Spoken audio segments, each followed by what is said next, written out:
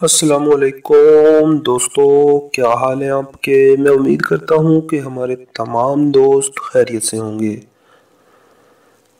تو دوستو، آج کے رشتے کی طرف پڑھنے سے پہلے ہماری چھوٹی سی گزارش ہے کہ ہمارے چینل کو سبسکرائب کریں اور بیل کے آئیکن کو بھی دبا دیا کریں تاکہ ہماری آنے والی ہر نئی سے نئی ویڈیو کا نوٹیفیکیشن آسانی سے آپ تک پہنچ جائے۔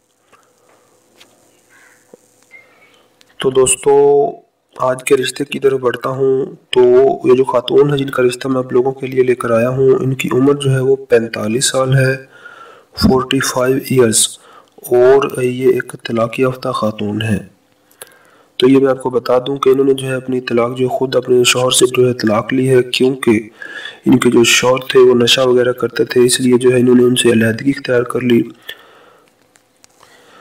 تو ابھی جو ہے یہ اپنے ذاتی گھر میں رہتی ہیں، ایک بیٹی، ایک بیٹا، دو بچے ہیں۔ ہاں، یہ جو خاتون ہیں، ان کی تعلیم ایم اے ہے یعنی کہ سولہ جماعت پاس ہیں، پینتالیس سال عمر ہے اور یہ ایک گورنمنٹ سکول میں ٹیچر کی جاب کرتی ہیں۔ تو جسے جو ہے منتھلی جو ہے تقریباً یہ پچپن ہزار روپے جو ہے منتھلی کماتی ہیں۔ تو جس سے جو ہے گزارا ٹھیک ٹھاک ہو رہا ہے، اپنا گھر ہے، ہر چیز ہے، کسی چیز کی کمی نہیں ہے۔ لیکن اب جو ہے یہ چاہتی ہے کہ دوبارہ سے شادی کر لیں تاکہ جو ہے اپنے، جو ہے جیون ساتھی کے ساتھ جو ہے اپنی زندگی گزار سکیں۔ تو ان کی جو ڈیمانڈ ہے مرد جو ہے، اس کے لیے میں آپ کو بتا دیتا ہوں کہ لڑکا جو ہے، مرد جو ہے، اس کی عمر پچپن سال سے زیادہ نہ ہو۔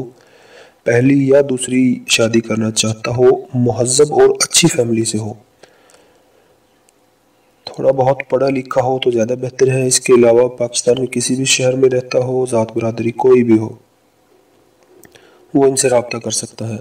یہ جو خاتون ہے مسلمان ہے فرقہ سنی ہے اور اس وقت یہ بہاولپور سٹی میں رہتی ہیں۔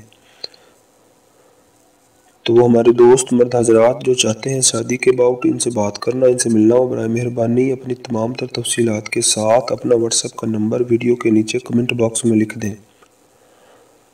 ہم انشاءاللہ بہت جلد آپ سے رابطہ کر لیں گے۔ اگر آپ کے نصیب میں ہوا تو یہ رشتہ ضرور آپ لوگوں کے لیے خوشیاں لے کر آئے گا۔ تو دوستو، اسی کے ساتھ ہمیں اجازت دیں اور ہماری چھوٹی سی گزارش ہے کہ ہمارے چینل کو سبسکرائب کریں اور بیل کے آئیکن کو بھی دبا دیا کریں تاکہ ہماری آنے والی ہر نئی سے نئی ویڈیو کا نوٹیفیکیشن آسانی سے آپ تک پہنچ جائے۔ شکریہ۔